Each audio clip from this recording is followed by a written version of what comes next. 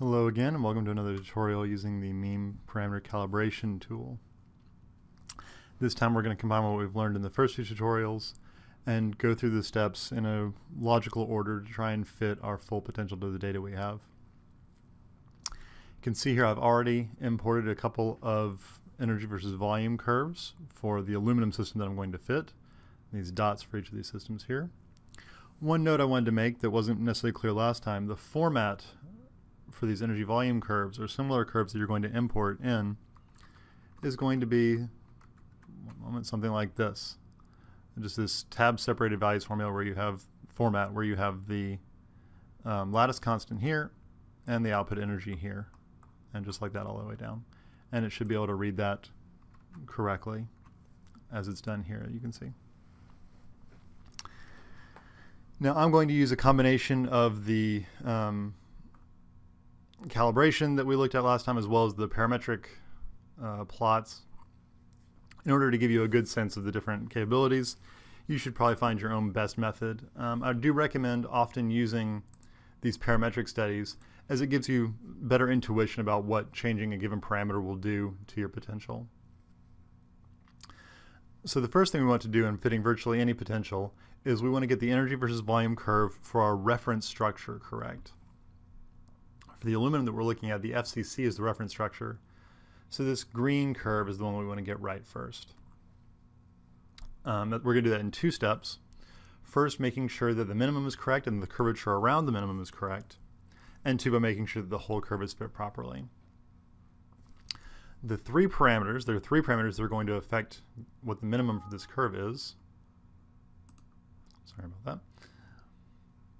That is going to be this a lat, the lattice constant, which should have the effect of shifting this curve to the left and right. E sub, which should have the effect of shifting this curve up and down. It's going to be the, inner the cohesive energy of the element. And alpha, which should be proportional to your modulus, which will affect the curvature of this curve around the minimum. What I'm going to do to just be a little quicker about this is we're going to do a um, automatic calibration. So I'm going to enter each of those things as calibration parameters. They can start around their initial value, and I'll give them a fairly large range to make sure that we get the, the correct value in there. Um, this might affect the performance a little bit and the time it takes to run, but it shouldn't be too significant for something this quick. Again, I'm just letting it start at the initial value that it's at, giving it a fairly broad range around those values. And seeing what comes out. Selecting this E1 versus A1 as my calibration target. Again, since we're only concerned with the really the values around the minimum here, I don't need to fit the whole curve.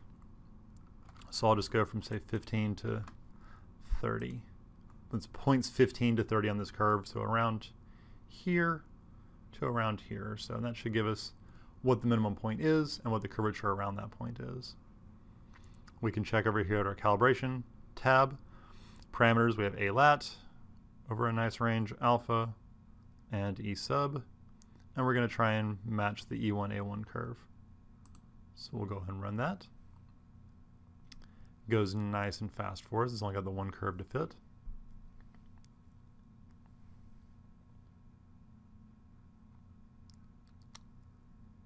And what we should see as it finishes up here is we get very good agreement here around the minimum. Our minimum point is correct, the curvature is correct. Next thing we typically want to do is we see here out at the out here at the ends, we don't necessarily still match the curve that well. The parameters that are going to affect this are attract and repulse. One for the inside of the curve, one for the outside of the curve. Attract will affect this region of the curve, repulse will affect this region. So we'll do each of those separately real quick. They are found in the parameter section. For the current file I'm using, aluminum is my second element, so it's going to be attract 2, 2. That's the attraction between element 2 and element 2, so aluminum in itself. And likewise with repulse. And we'll just do a parametric study this time to sort of show you how it looks. These are typically very small values. We'll go from say 0 to 0.2 or so. And look at three different values. And you can see very clearly here out, okay, we have the, the E1 curves. This is our FCC curve. Everything on the inside of the curve through the minimum is very much the same. And as we get out to the edge here, we get this deviation that for of attract value of zero, our curve goes up too sharply. For 0.2, it turns over too much. 0.1 seems to be right, right in the middle. Right now, I will just set it as 0.1. To be more rigorous, we could go through and do a calibration routine on this. But again, you can use the parametric to get a good sense of what it's doing and around where you want it before you start to optimize. We change device, we need to run it again. We see it looks very nice out here now. We can do the same thing with repulse. Oops, sorry. Parametric study. We'll go say from minus 0.1 now, point, uh, 0 0.2. Give it four values to play with. And we should see the exact same thing on the other side. And you can see that is indeed the case. Um, from minus 0.1 we get way too much curvature away. For 0.2 it curves up too much. 0.1 was about right. We probably want it a little bit smaller than that. I'll try 0.75 for right now. Again, if you want to be rigorous with this, or sorry, 0.075. To be rigorous with this, you would then go and do a, calibration routine to get it exactly right. We can see we're pretty close at this point, and our whole FCC energy versus volume curve is fit correctly. What you'll typically do next is go on to a different um, reference structure. So instead of our primary structure, which is FCC, we'll look at the BCC curve. That's the one here in blue.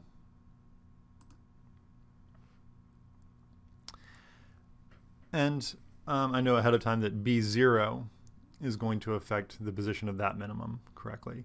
Again, there's usually only a few things we can do to change that minimum position. We don't have as much freedom since we've already fixed alpha um, and our attract and repulse, which will affect those as well. What's important is getting those right for the FCC curve and then trying to tune the other curves correctly. So I'll go ahead and play with B0 here. See, our initial value was around 2, so let's go from, say, 1.5 to 3. Do four values in there just to give us a good sense of how it's going to change. You can see our E1 curve is not effective. That's why we that's why we did it first, because changing other things is not going to affect it too much. So once it's fixed, we know we, we're not going to do too much damage to it when we start changing other things. We go here to E2. We can see things starting to shift here.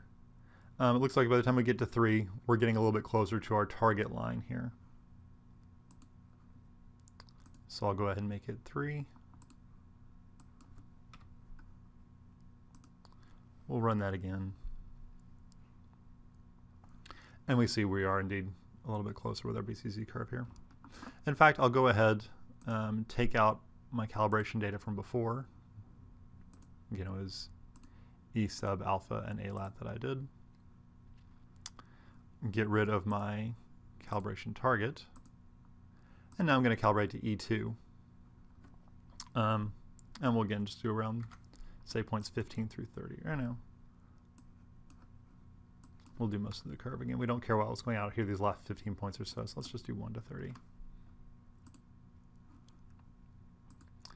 And try and do a more exact fit there. can start around 3, say between 2 and 4. And we'll let that run and see how close we can get to get a more exact value. Again, we use the parametric study to get a sense of what it's doing, get an idea of where we want to be, and you can see it converts here to 2.9. And we're pretty close to what we want. Next thing we want to do, and you might see this occasionally, we have this little glitch here where the, the HPC curve is moved off what it's uh, where it's supposed to be. Usually just some minor tweaking to the parameters will get this back where it's supposed to be. But we're going to try and fit this curve um, around the points. And I know ahead of time T3 is going to be the big thing influencing our um, HCP curve. These T values can go negative, is a good thing to know. Um, I'll go ahead and put it around negative 2. I think that should get us, get rid of that little glitch there. Yeah. And we can go into a parametric study around that point. And again, I'm going through this very quickly because I have some idea what it's supposed to do. Um, this will obviously take longer as you sort of gain intuition. But here's I'm giving you a good sense of which values to play with for which things.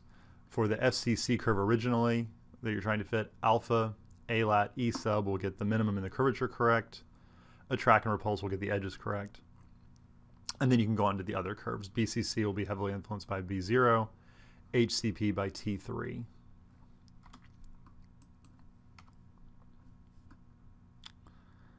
And so, again, changing T3, looking what it does to the HCP curve. Hmm, not a whole lot, actually. So it looks like where we are is pretty good.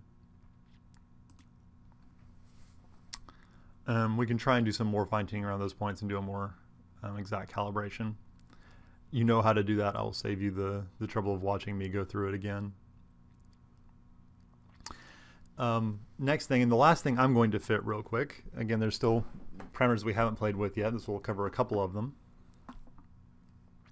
We can look and see how T2 affects our elastic constants. Again, I've already put in some values for the elastic constants, C11, C12, and C44. But we can look at parametric study of T.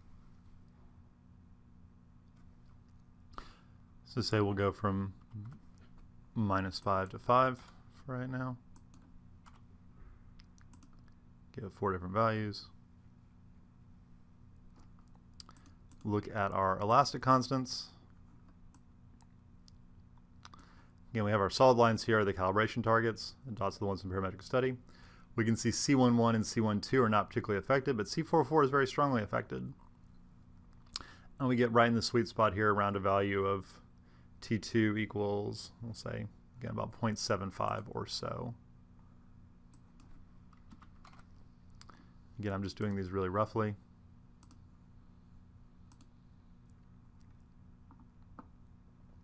And we see now our C44 is 32.7. It's off by about 0.18 or so, or 1.8 or so. Again, we could do optimization with the calibration routine and get it even a little closer than that. So I'm going to stop there um, for this. We've seen how to fit our three EV curves, sort of the general order to do it in, and then gone through some of the steps to fit the elastic constants. Again, you have a couple other parameters to play with. The best thing to do is go through, use parametric studies, and see what's changing what. And always remember, once you change something, don't assume it's not going to change again. So we might see that after we've done some changes to say our elastic constants, our BCC curve or our HCP curve might have changed slightly again. And so we might need to go back through and slightly tweak things that we changed before. It should be very minor things on the order of maybe a few percent. But it's never assumed that once you've set something that it isn't changed later on. So always go back through and re-optimize after you've gone through and done everything else. Hope this was helpful and good luck to you.